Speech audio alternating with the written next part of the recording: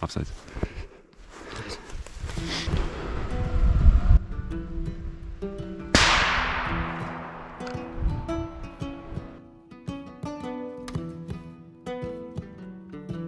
Ah, jā, es turēju. Zvani mūrim, prasa, ko darīt. Jo rekur viņi sagriezās un te viņi aizgāja pa pēdu. Ah, viņi ir uz šitiem pašiem aizgājis? Nē, Nē, viņi citiem Nē viņi citur. Jo es turēju, jā, var dzirdēt. Braucam priekšā estei, mēģināsim vai nu noķert esti vai nomedīt alni ar pieiešanu. Ja nesanāks, tad vismaz jādabūs suns, lai neapstātos visi dzinēja medības.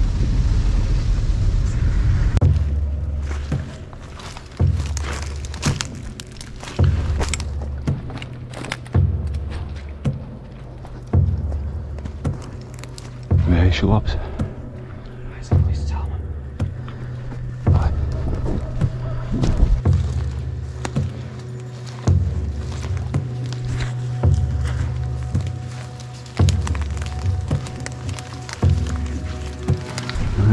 Alnis ir darbojies. Nogāzt tās apsas grauzes. Un uh, nekāds brīnums, jo nekur arī es mums 280 metros darbojās.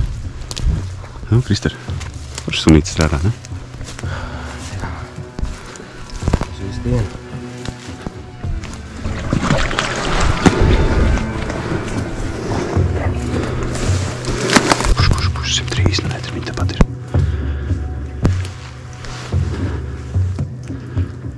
Atkal kustība 148.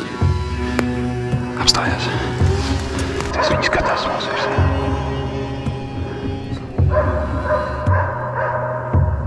Jā, es redzētu ēsti, tad es varētu pat izšaut, bet es ēsti neredzu.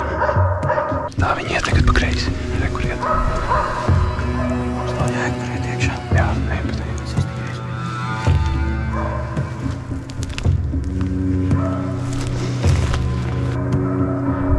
Alnis visu laiku stāv ceļumā, tad tagad Kristers apies apkārt.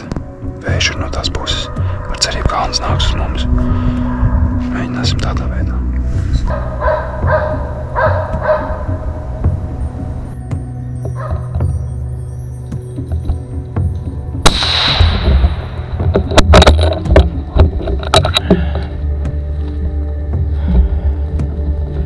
Bet es tur uz vietas un Kristers šāba. Tas nozīmē, ka mēs ejam uz to pusi. Alnis ir mucis no Kristera un es tas. Labi. Šitas tev nav pa parku staigāt, ne? Vispār ne. Es jūtu. Nu, Asinspēda. Es jūtu, ka tev var apsveikt, draugs. Es te, ai, malacīte. Ai, laba meitene. Apsveic. Es te, nē. Es te, es te, es te, nē. Nu, izstāsti, kā tev. Skaisti. Redzēju viņiem virzību. Pa grāvi čik, čik, čik, čik gāja apkārt. Iegāja pa stīgi iekšā. 5 minūtes gaidīja. 120, 60. Iznāca stigas. Skatījos man pāris sekundes. Kāds 10. Roka jau piekus. Un tad tāds riksīgs pāri un teļš. Izšāvu. Cik distance? Es te pakaļ. 67. Un, un, un dzirdēju, ā, gūs nenormāli. Pēc tam tur iekšā vēl kāds 100 metri gāja arī dusmojās. Un tad nāca šeit, stāvēja govs. Un nācās pabeigt šo stāstu ar teļu. Jā, nu, cik mēs ilgi gājām? Mēs sākām pirms cik stundām? 11. Mm. Astoņos mēs stājāmies. Es te jau viņiem gāju. Deviņos pakaļ, mēs sākām mastu. Tad es viņus arī paņēmu. Nu, Un tagad ir? Ir 4 stundas. Zanāk, ka mūsu taktika bija pareiza. Sadalīties un iet katram pa savu pusi. Jā. Tagad mums ir uh, jāatrod tuvākais ceļš. Bet, lai pēc tam atrastu alnu, mums vajag atzīmēt punktiņu.